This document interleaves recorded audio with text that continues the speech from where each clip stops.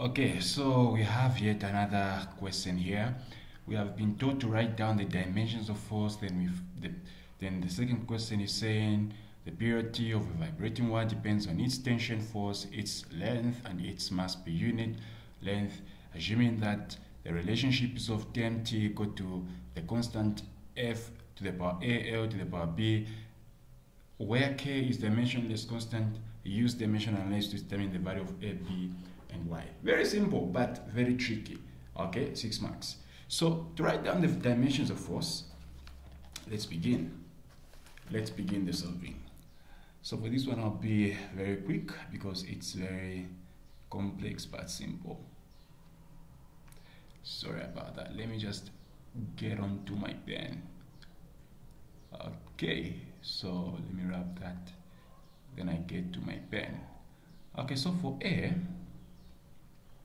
the dimensions for force, we know that force is equal to MA, and I've been emphasizing M is just big letter M, A uh, is just L over T uh, to the power 2.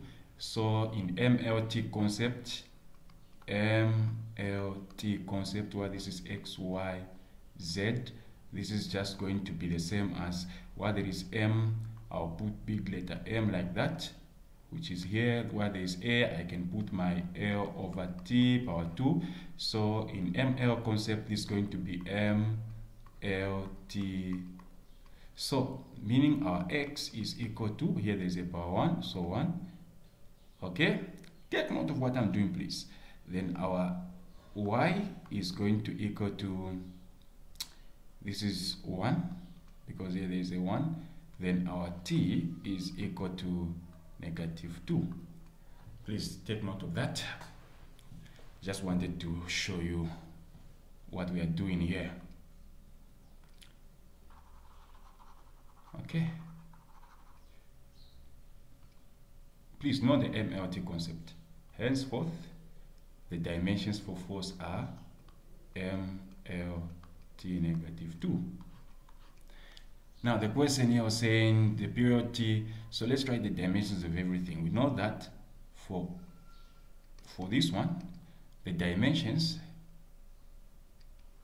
for t, which is the period, is simply big letter t, and then the dimensions for force are simply m, l, t negative 2, the dimensions of length are simply big letter L.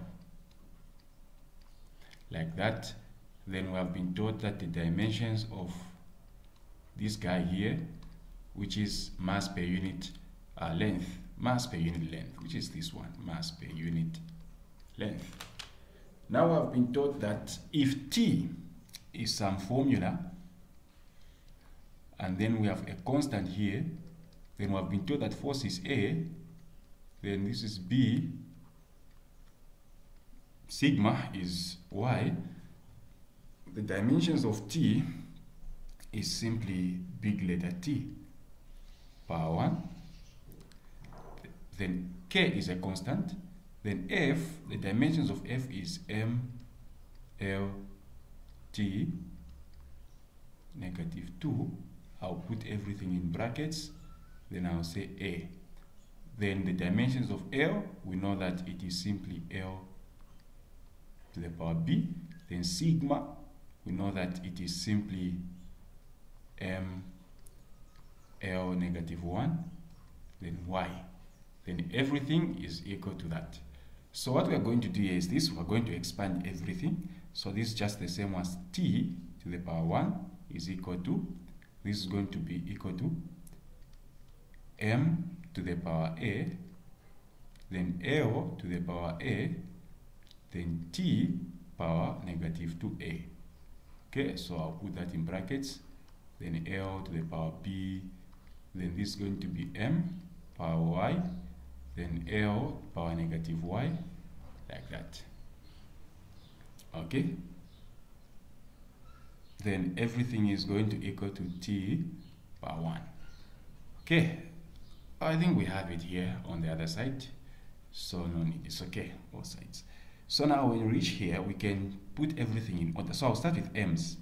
So with m with m I'll say that we have this m then I have this particular m. So I'll say my first equation is going to be this m this m multiplied by this m to the power a is going to multiply that m to the power y okay? Then everything is going to because we do not have m on the other side so this is going to be equal to m to the power 0 so that you know that if you're multiplying same base but different powers you add. So this is just the same one see? m a plus y equal to m0 that and that will cancel. So I'm going to have a plus y equal to 0 and that will be my equation 1 so I come to else. When I come to else I'm going to get L to the power a. Then I'm going to multiply it with L to the power b multiplied by L to the power y negative y then equal to L to the power 0 the same concept this is going to be LA plus B minus Y equal to L0 cancel cancel. Is going to be A plus B minus Y equal to 0 this is going to be my equation 2 okay so I'll wrap that.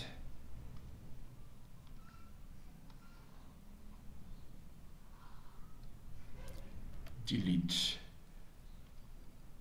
I'll wrap that then I'll work on this. So I'll say let me come to t. With t I have this t here this t here. I to have one t. So with t I'm going to say that I have t power negative 2 a equal to t power to the power 1 that and that can cancel. So I'm going to have negative 2a equal to 1 so I can start solving with this one and my a is, is equal to negative 1 over 2. I can get this one, this equation. So I'll say where there is a, I'll replace with that. So I can say negative 1 over 2 plus y is equal to 0. Then this is going to be y is equal to positive 1 over 2. I found for y. Now let me try to find for uh, for the other one for B. Please, MLT concept is very important. If you don't understand it, inbox. Inbox. Okay, this is very simple. Very, very simple to solve. Okay, so very sweet to solve and very simple. If, if I can solve this, you can solve this. All right, let me just uh, get my pen. Oh, wow. Okay. Okay.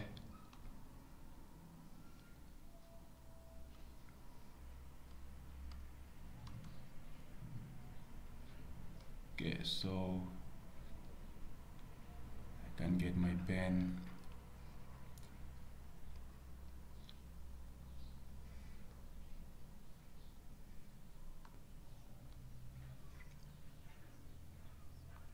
Okay so I'll get my a plus b minus y equal to 0 then a was negative 1 over 2 plus b. We don't know y was negative y was positive. Okay then I'll put my 0 then this is going to be negative 1 over 2 plus b minus 1 over 2 equal to 0.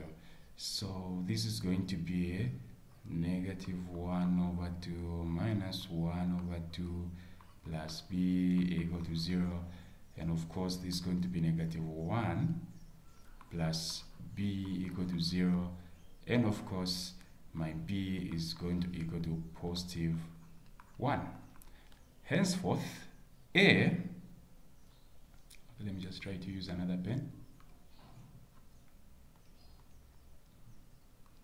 Henceforth my a is going to equal to negative 1 over 2 b is, is equal to 1 then y is equal to positive 1 over 2 simple and that is just how you solve this particular question